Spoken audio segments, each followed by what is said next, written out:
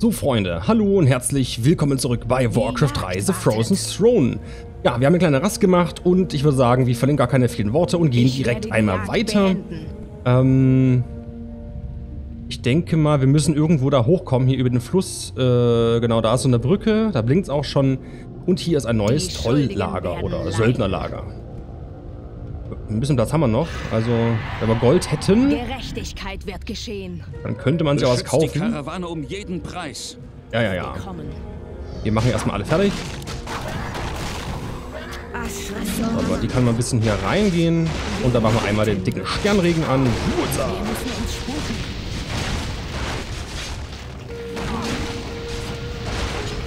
Ah, das sieht ja wirklich gut aus. Gar kein Problem. Die Heiler regeln halt auch viel, ne? Also drei Heiler, ne, zwei sind's, ne? Zwei? Ja, zwei Heiler. Die regeln halt immens, weil die einfach alles die ganze Zeit heilen. Vielleicht kann man schon wieder das Gold holen. Ah, Gold, Schätze Gold. Allianz. Und eine Rolle der Totenbelebung. Aha. Kann sie sich mal hier einstecken? Zwei von drei Goldbehälter haben wir. Äh, wie sieht's hier aus? An der Front? Ja, das schaffen die aber auch solo. Also diese kleinen Futzel, die da ankommen, das ist eigentlich nicht, das- äh, nicht das Problem. So, äh, dann können wir uns jetzt nochmal drei weitere Helferlein noch ranholen. Ach, die haben keine Kollisionsgröße. Aber gut, die schweben auch, ne? Da kannst du unten durchlaufen quasi. Was nehmen wir uns denn? Kobold Erdmagier. Leichte Distanzeinheit. Langsam und Magie aufheben wirken kann. Ah, die hat eine Aura. Die nehmen wir auf jeden Fall. Die macht äh, Schadenserhöhung von 10%. So, und dann würde ich sagen... Du hast da von den Karawane hier. Was machen die? Genau, die verlangsamen nämlich die Gegner. Das Ende rückt näher. So. Irgendwie fehlt noch eine. Warte mal. Gerechtigkeit wird geschehen. Äh, wir haben doch zwei gekauft, oder? Wir müssen uns sputen. Nicht genügend Gold. Ach, ich hab nicht genug Gold. Okay, na dann haben wir recht gehabt. Nicht so schlimm. Die Schuldigen werden Wir finden schon noch ein bisschen Gold. Ähm, Ich werde gehen wir mal hier weiter. beenden. Oh, guck mal da, da kommt einer. Hallo. Die So. Zeit ist gekommen. Achso, da ist noch mehr. Karawane wird angegriffen. Ja, ja, ja. Habe ich gar nicht gesehen im Augenwinkel.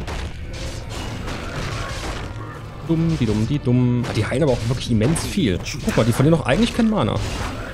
Also ich habe jetzt nicht irgendwie das Spiel weiterlaufen lassen, dass die Mana recken oder so. Ich habe einfach nur gespeichert und dann quasi nächste Folge angefangen. Die verlieren wirklich kein Mana. Das ist sehr, sehr, sehr, sehr geil. Das ist schon awesome. Die Schuldigen naja. Was ist denn hier? Hier ist äh, kleiner Bauernhof. Kommen wir aber nicht hin. Okay. Und da ist wieder ein Held oben. Das ist äh, Lortiras. Na komm. Ich mache euch kaputt, Junge. So, einmal dies und einmal das. Und wir haben ein Level up. Da würde ich sagen, jemand Schattenschlag auf Stufe 3. Da macht er jetzt 225 Schaden. Das ist doch nicht schlecht. Und noch ein bisschen Dot, ne? Die Karawane wird angegriffen. Ja, ja. Nicht gleich rumheulen, einfach mal Ich kämpfen. kann nicht mehr warten. Die Übrigens mal so als kleiner Tipp hier nebenbei. Wenn man, äh, ja, also, also ich greife die Gegner immer mit der A-Taste an. Quasi hier angreifen, Befehl. Und das Schöne an dieser Variante ist, dass die Heiler automatisch dann heilen.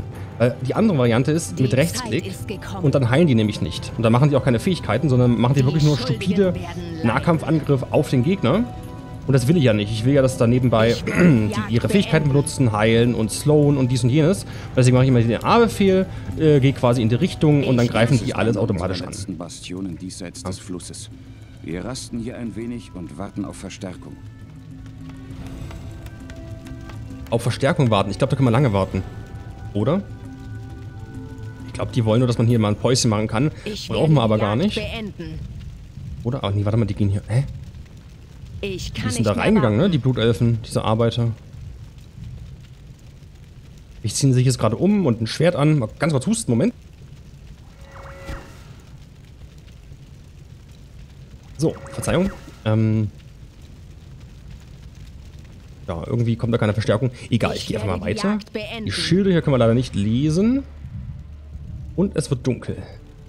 Wir sind an einem Scheideweg angelangt, meine Freunde. Es gibt einen kürzeren Weg zu unserem Schicksal, doch der führt gefährlich nah an einer Bastion der Untoten vorbei. Die andere Route ist sicherer, aber wir brauchen länger, um den Fluss zu überqueren. Allerdings sind beide Wege nicht ungefährlich. Entscheiden wir rasch und ziehen wir weiter. Ich würde... Achso. Ja, ich würde sagen, wir gehen durch die untoten Bastion. Macht mehr Spaß, bisschen durchprügeln. Das Ende rückt näher. Der dicht bei einer untoten Bastion liegt. Genau. Äh, die, Die hauen wir einfach Die kaputt. Untoten sind zurückgekehrt. Verteidigt die Karawane. Ah, das schafft ihr auch so, hä? Ja, klar. Das bisschen. Die ich gehe schon mal vor und prügel mich durch die Untoten. Mal sehen, ob wir das schaffen. Ich. Zeit ist Äh, ich denke mal, man kann auch immer noch umkehren und den anderen beenden. Weg nehmen. So, hier ist erstmal eine kleine Base. Das Ah, hier gibt's mal Gold. Ja, wunderbar. Und noch ein Söldnerlager. Perfekt. Da, da, da, da, da. Haben wir nur noch Platz für einen? Beziehungsweise wir können auch noch zwei weitere kaufen und die folgen lassen. Die Karawane Geht zur Not auch. angegriffen. Was, schon wieder? War nicht wahr? Doch alles in Ordnung hier. So. so sie Die kann sich immer das Gold wartet. holen. Noch mehr vergrabenes Gold, Gold. Auffüllungstrank Das brauche ich nicht. unserer Sache dienlich sein. Genau, das wird auf jeden Fall unserer Sache dienlich sein. Option Quest Die abgeschlossen, Zeit Vorräte holen. Okay.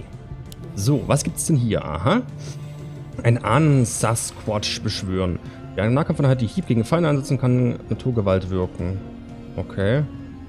Reinigen und Blitzschild und eine einschnüren. Ja, dann nehmen wir den noch mit rein in die normale. Armee. Und dann kaufen wir noch so einen und so Das einen. Mal so. Und der kann auch folgen. Wir So. Ah, das schaffen die schon, ne? Wie gehen wir hier weiter? Jetzt haben wir unsere Armee auf jeden Fall massiv aufgestockt. Ich werde die Jagd beenden. So, Das dann hauen wir ist das die einfach kaputt. Bastion, von der ich sprach. Sie muss zerstört werden, wenn die Karawane passieren soll.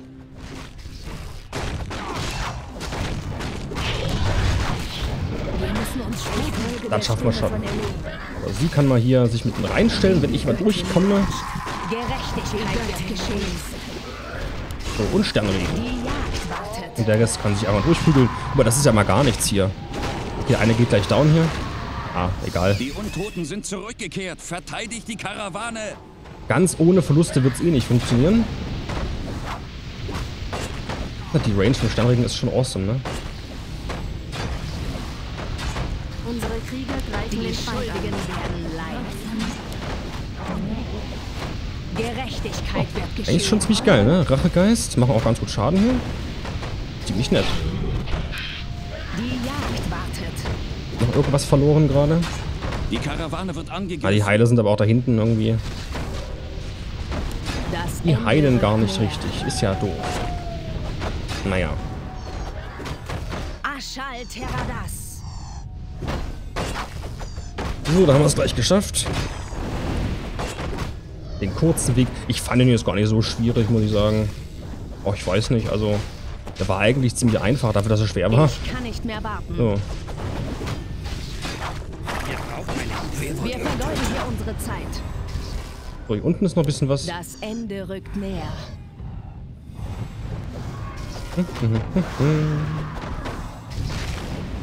Ach ja, machen wir alles noch. Put, put, put. So, Goldmine noch. Heldenaltar. Und dann haben wir die Base hier komplett vernichtet. So muss das sein. So, das Haus noch. Okay, haben wir es geschafft. Äh, wobei es könnte sein, dass noch eine weitere Base kommt. Aber ich glaube Ich nicht. Ich glaube, wir sind jetzt hier quasi an der Brücke gleich. Das Ende rückt näher. War ja hier oben, ne? Also im Die Prinzip noch ein bisschen durchlaufen. Machen die hier? Achso, die folgen mir. Okay. Gut. Ja, dann weiter, weiter, weiter. Die Ah, Zeit guck mal, hier ist noch was. Gekommen. Ah nee, das ist aber Menschendorf. Okay. Ich werde die Jagd beenden. Und das wäre jetzt quasi der andere Weg. Könnten wir jetzt auch nochmal ablaufen, aber finde ich jetzt irgendwie Quatsch. Jetzt sind wir ja schon einmal hier. Die Schuldigen werden leiden. Müssen wir jetzt nur auf die Karawane Unsere warten. Die kommt ja gleich ran. Was wollt ihr denn hier von mir? Hält auch voll lange, ne? Der, Avat äh, der Avatar der Rache. Also hält schon ziemlich, ziemlich lange. Beschützt die Karawane um jeden Preis. Ja komm, den einen Bungee wirst du wohl hinkriegen, Kollege. Also mal ehrlich. Gerechtigkeit. Man sieht, die spawnt jetzt. Bleiben die dann noch?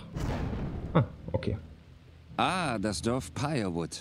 Gleich dahinter liegt der Fluss Arvas. Ich weiß nicht. Etwas kommt mir nicht geheuer vor. Ja, vielleicht sollte die Karawane lieber weiterziehen. Verdammt. Sie haben auf uns gewartet. Beschützt die Karawane um jeden Preis. Ja, das bisschen Füllerfanz hier, guck mal. Ihre Easy. Zahl ist grenzenlos. Gar kein Problem. Na gut, hier ist noch ein bisschen was am Es Start. kommen einfach immer mehr. Oh. Warte mal, das können wir aber regeln mit Sternenregen. Yay.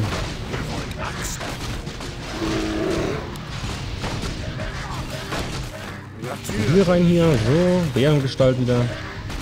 War gar kein Problem. Ah ja, ich mag den Sternenregen wirklich sehr, muss ich ja sagen. Macht einfach guten Schaden, schön AOE-Range. Wunderbar. Einfach nur wunderbar. So, du noch. Hauptquest abgeschlossen. Kael'thas und seine Karawane begleiten. Ja, haben wir doch gern gemacht. Wir haben sie zurückgeschlagen, aber die zweite Welle rückt jetzt vor. Unsere Zeit ist abgelaufen. Einen weiteren Angriff überlebt die Karawane nicht. Kale, bringt eure Karawane über den Fluss. Ich bleibe zurück und verteidige die Brücke. Das ist höchst edel von euch, Priesterin. Aber einer solchen Heerschar seid ihr nicht gewachsen. Die Göttin ist mein Schildwächterin. Elun wird mir Kraft geben.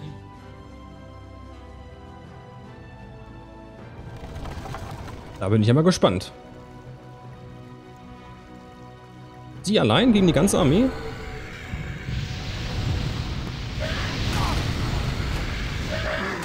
Es funktioniert. Sie kann sie aufhalten. Barmherzige Göttin, Nein. Die ist abgestürzt. Wir müssen uns beeilen und sie retten. Diese Strömung bringt sie direkt ins Zentrum der Länder der Untoten. Nein, Kel. Tirande ist Soldatin. Sie wusste, welches Risiko sie einging. Vor uns liegt eine bedeutendere Mission und unsere Zeit wird knapp. Euer Volk ist jetzt in Sicherheit. Nun löst euren Teil der Abmachung ein und helft mir, den Dämon zu jagen, den ich suche.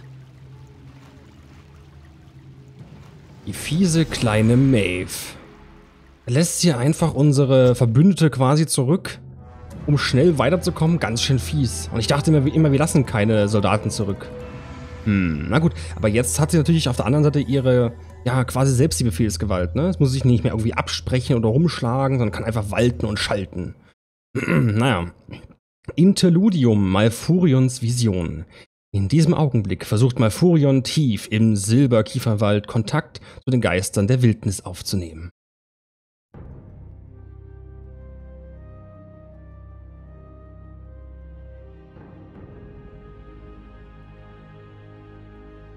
Dieser Wald hat ebenso sehr gelitten wie Ashenvale. Die schreckliche Pest der Geißel ließ zahllose Morgen Bäume absterben. Könnten die Droiden doch nur. Ah, die Erde wird entzwei gerissen. Die Schmerzen sind unerträglich. Alte Geister des Waldes, ich flehe euch an, zeigt mir, was meinem Blick verborgen ist. Zeigt mir, was diese Erde plagt.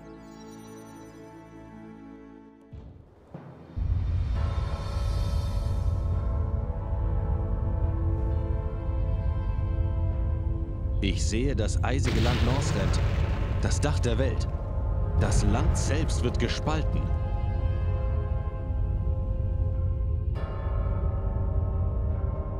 Wie kann das sein? Was konnte diese Verwüstung verursachen?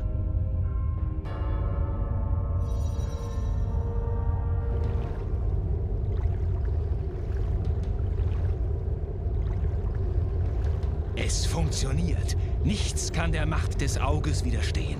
Bald ist es um die Feinde meines Meisters geschehen und ich fordere meinen gerechten Lohn ein.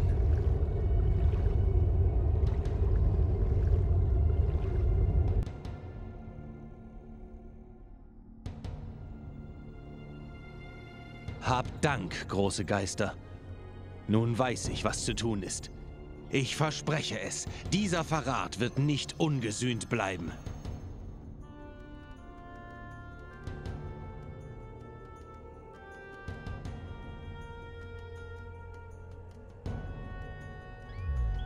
Ein Bambi.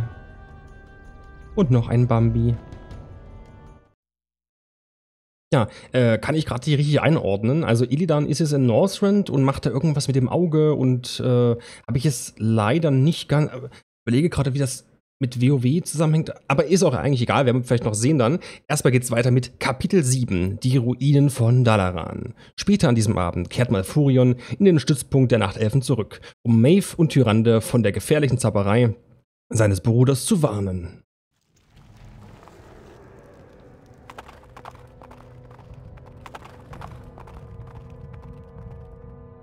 Majev, wir müssen uns beeilen. Illidan wirkt einen Zauber, der das Dach der Welt spaltet. Wir müssen... Halt. Wo ist Tyrande? Es tut mir leid, Shando, aber die Priesterin ist gefallen. Wir halfen einer Gruppe Krieger der Allianz gegen die Untoten. Die Priesterin hat tapfer gekämpft, aber ich habe mit eigenen Augen gesehen, wie sie in Stücke gerissen wurde. Lügen! In Stücke gerissen. Tyrande, mein Herz. Ich hätte dort sein sollen. Ihr könnt sie immer noch rächen, Shando. Greifen wir Illidan gemeinsam an. Nur seinetwegen sind wir an diesen gottverlassenen Ort gekommen. Er trägt die Schuld an eurem Verlust. Shando, das ist Prinz Keltas, der Verbündete, von dem ich sprach. Seid gegrüßt, großer Druide.